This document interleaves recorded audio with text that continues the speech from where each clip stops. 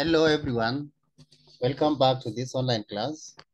Today, we are going to look at uh, Pfaffian differential equation. And in particular, I want us to look at uh, the method of one variable separable.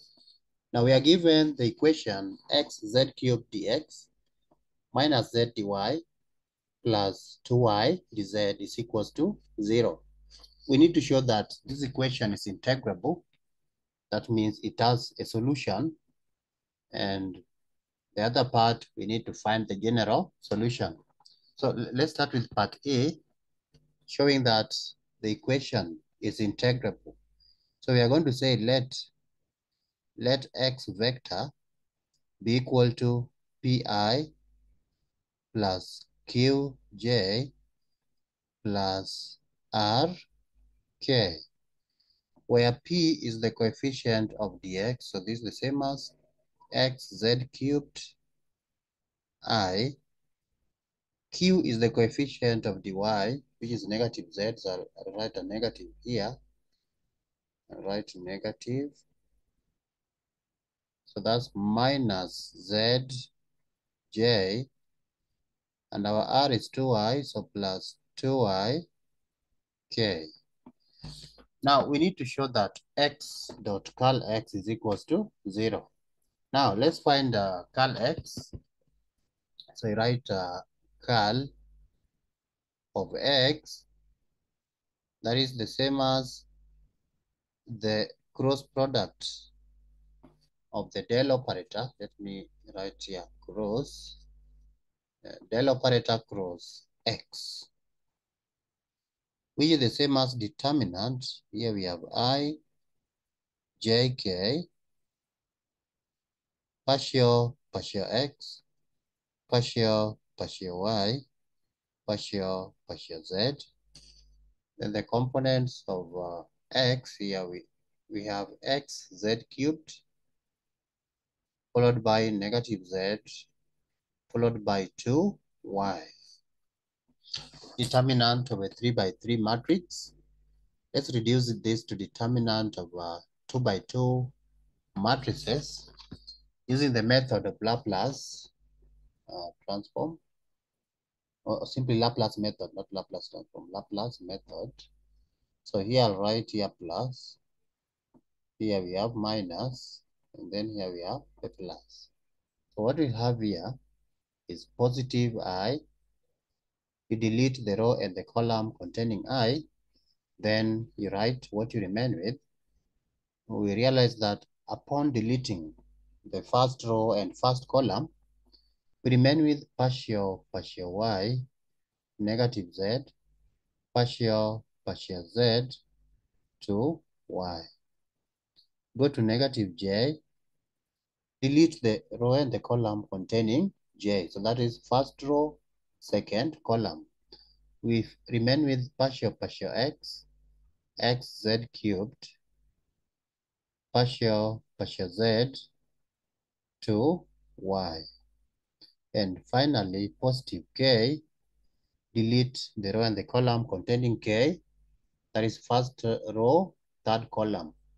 You remain with partial partial x, x z cubed, partial partial y, negative z. So now we need to find the determinant. Let's start with the first term. In the first term, we are going to get i, it's just positive i. When you differentiate, uh, when you differentiate 2y with respect to y, you get 2. Then minus. When you differentiate negative z with respect to z, you get negative 1. We have minus j. Again, we differentiate uh, 2y with respect to x, that is 0. Then minus, differentiate xz cubed with respect to z, that will give us 3x z squared plus k, differentiate negative z with respect to x, that is 0, minus differentiate xz cubed with respect to y, that is 0. So what we have is, uh, this will be 3i plus 3x z squared j plus 0 k, which I don't even need to write. That is curl x.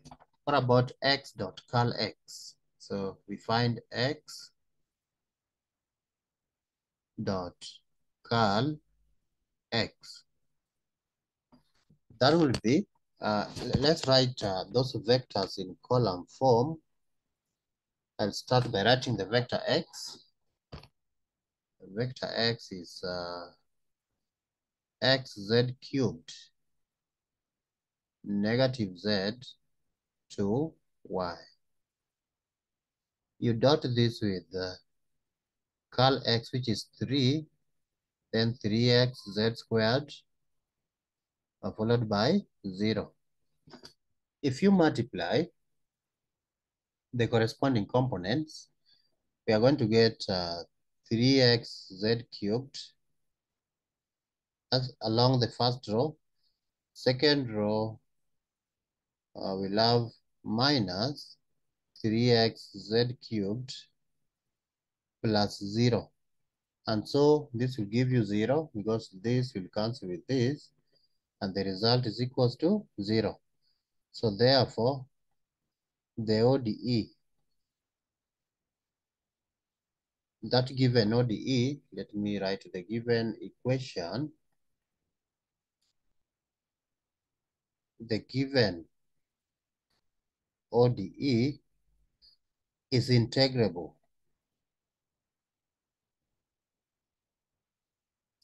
That means it has a solution. It has a solution. You can be able to solve it and get a general solution. Remember, every time you're given Pfaffian differential equations, at times you may be given an equation that has no solution. You might be solving something that has no solution. So the first thing that you have to do when you're given such kind of equations, you must first of all verify that the equation can be solved, that that equation has a solution by showing that x dot curl x is equals to zero. So now let's go ahead and solve it now that we know it has a solution.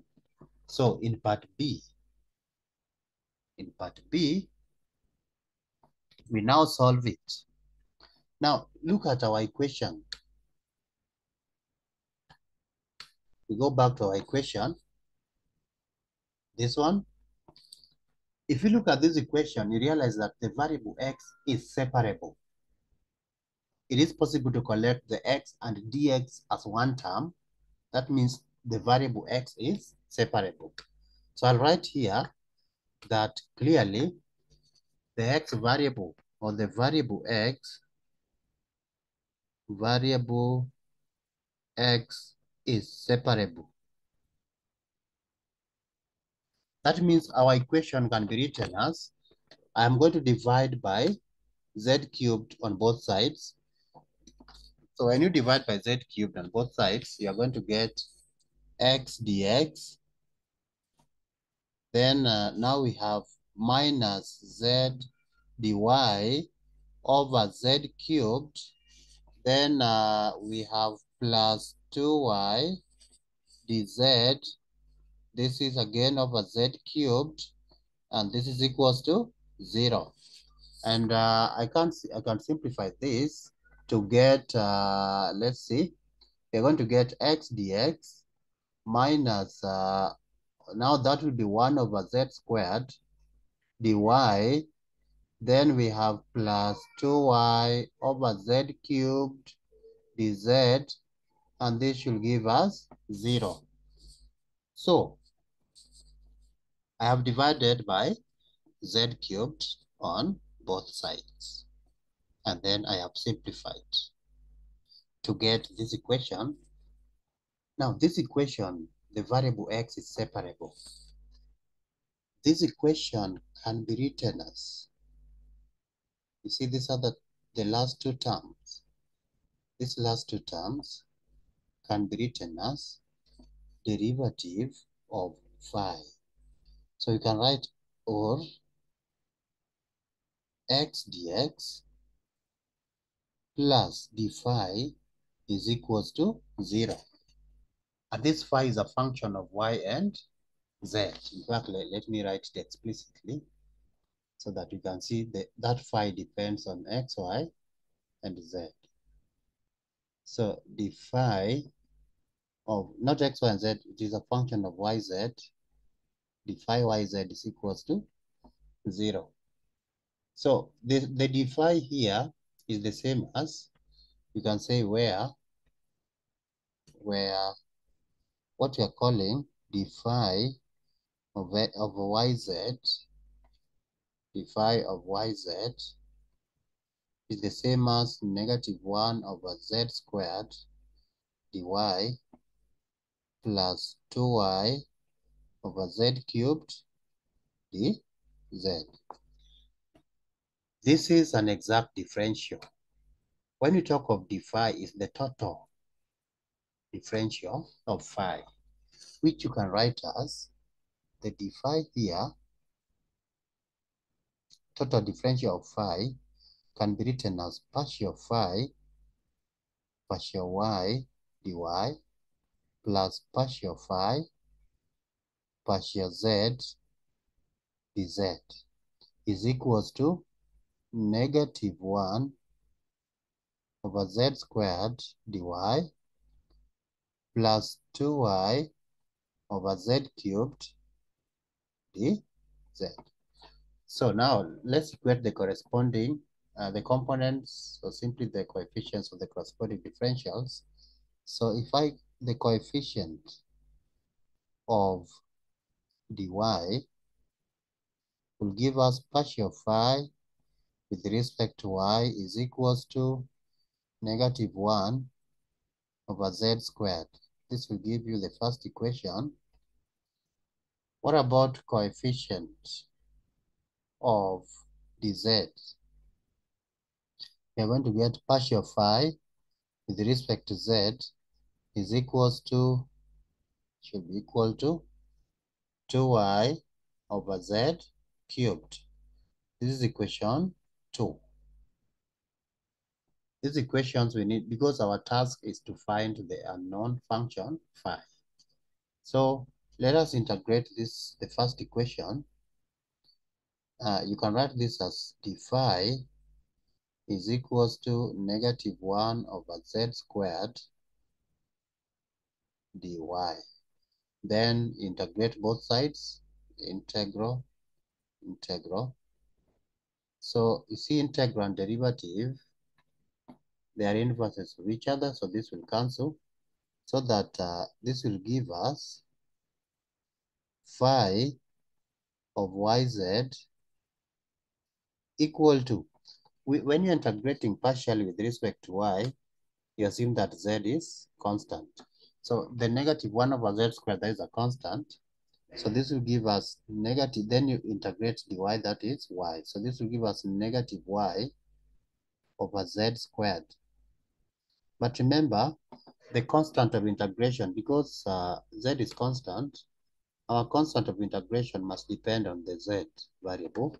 So we say plus g of z. g of z is an arbitrary function of z, which is the constant of integration. So this one that we have found, let me bracket it. This equation is our solution for that unknown function phi of yz, provided that you know the arbitrary function g of z. And how do I find g of z? So from this equation, if I differentiate phi with respect to z, partial phi, partial z, what will I get?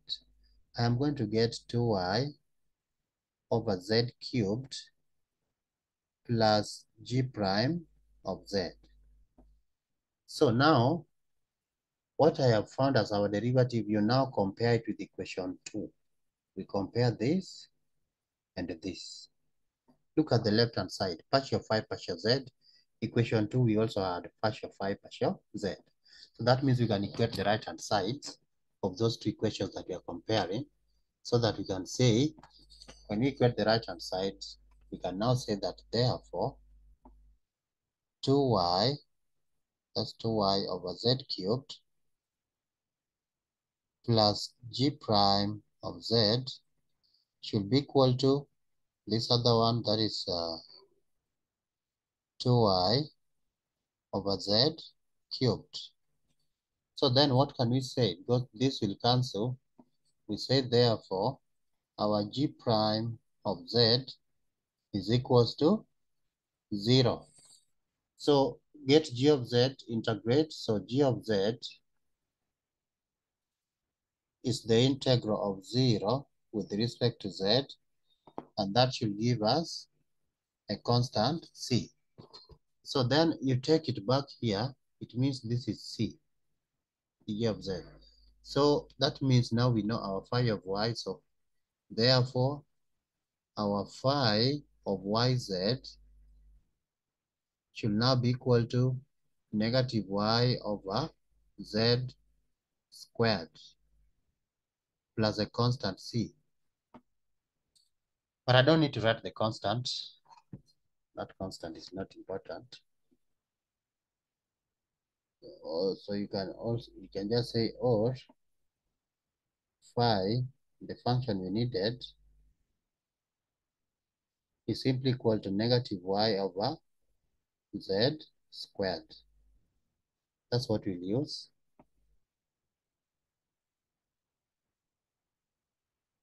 So let me take you back to the equation we were solving. This equation, we go back here.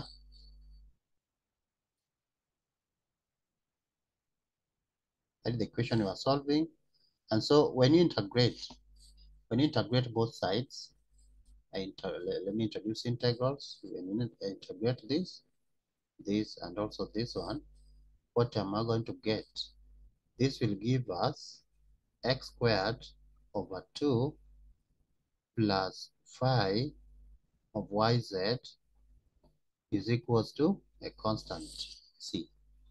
That is our general solution. So let me replace phi of yz here in this, this one, replace phi of yz so that our general solution can now be written as, so we can now say there for general solution,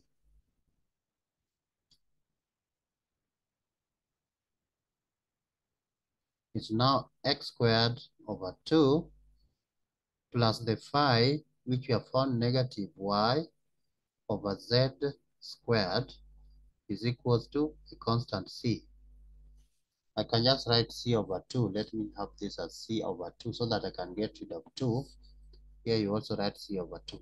So when I multiply by 2, I'm going to get x squared minus uh, 2y over z squared is equals to a constant c.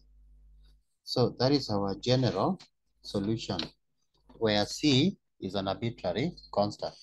So this is how to apply the method of one variable separable when solving Pfaffian differential equations. It is very, very simple. All you need to know is that once one variable is separable, then the remaining two variables, they form an exact differential, which can be written as d phi.